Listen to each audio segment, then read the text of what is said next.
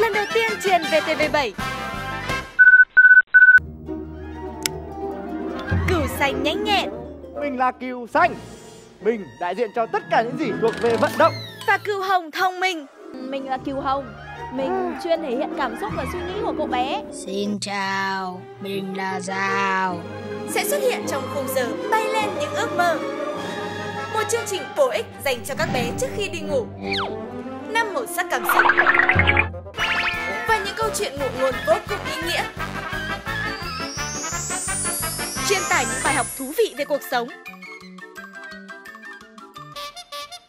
Cùng đón xem chuyện kể của chú cừu phát sóng trên VTV7